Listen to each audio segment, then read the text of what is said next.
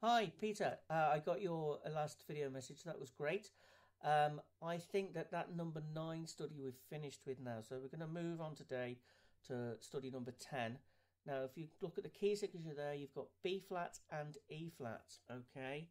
B flat we know we may not have done E flat.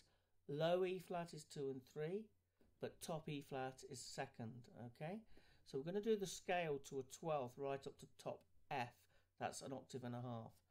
I'm going to demonstrate it now, but watch out for the bottom. It's B flat, C, D, E flat. That's the one you're going to miss, so be careful. So here's the scale to a 12th.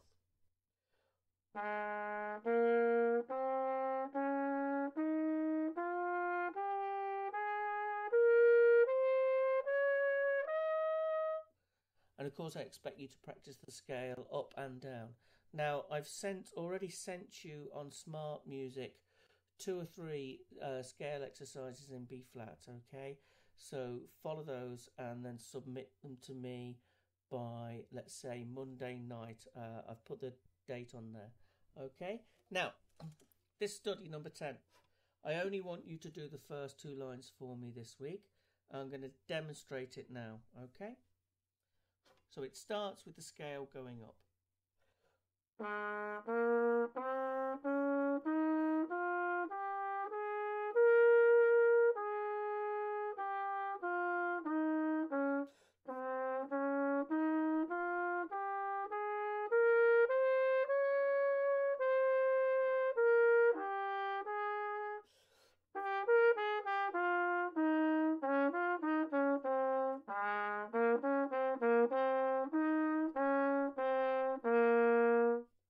That's as far as I want you to go this week, okay?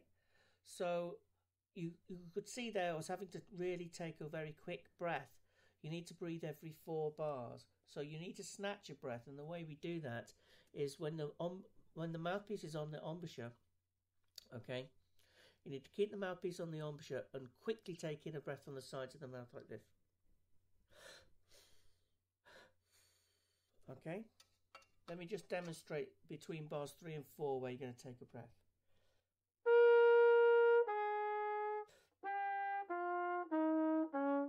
So you're going to have to be really quick, and that's why we don't take the, the trumpet off the embouchure.